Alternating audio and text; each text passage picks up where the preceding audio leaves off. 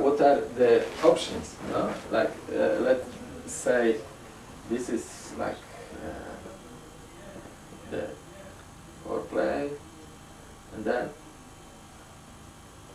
yeah, that's that's uh, like uh, the time. This is the time, and this is like the uh, excitement. And um, yeah, this is like um, yeah, uh, let's say 20 minutes. Yeah, it con- uh, uh, if, if uh, the man uh, like usually, unfortunately, the man is so tired afterwards that uh, he is uh, just able to turn off his back and uh, sink into the deep sleep. Uh, so, uh, if, if he is aware that uh, after play it's also important for a woman, that's uh, you know like maybe it could be a bit like this. Uh, but he uh, he have to force himself to not to fall to sleep usually.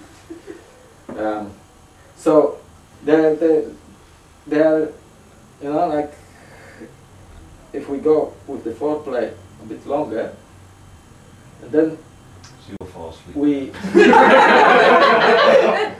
we, we go almost to the orgasm, but we stop, we slow down, yeah, and then uh, we slow down, we let it, then we can build it up. We go almost to the orgasm again, we'll build it up. We go again almost to the orgasm, but we can go higher and higher, and the time is passing, and the woman is very happy. we are also very happy because we went higher than it happens when we don't slow down before the point of no return.